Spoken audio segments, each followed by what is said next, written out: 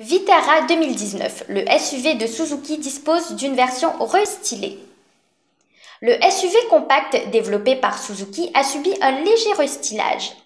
En effet, le Vitara 2019 comporte certains changements au niveau du style et des technologies. Des aides à la conduite et deux nouveaux moteurs ont été intégrés à ce modèle.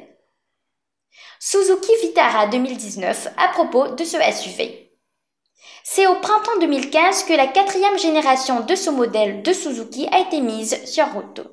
L'enseigne japonaise a décidé qu'il était temps que son SUV évolue au niveau du design et des technologies proposées.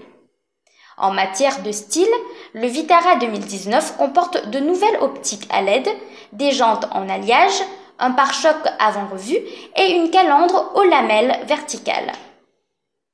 Deux nouveaux moteurs proposés par le fabricant japonais. C'est sous le capot que le SUV Vitara 2019 a connu un changement important. Le bloc de 1,6 litres a été remplacé par deux moteurs à essence de 1 litre et 1,4 litre respectivement. Le booster jet turbo de 1 litre développe une puissance de 110 chevaux alors que celui de 1,4 litre dispose de 140 chevaux. Les blocs de ce véhicule de Suzuki pourront être associés à la transmission intégrale All Grip. Des aides à la conduite auront des nouveautés.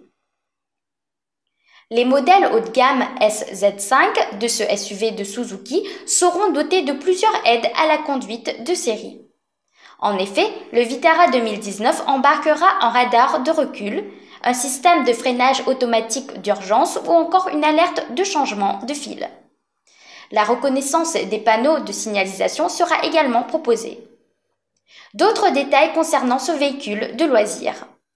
Dans l'habitacle du Vitara 2019 de Suzuki, on retrouvera un nouvel écran TFT couleur qui a été placé entre les cadrans.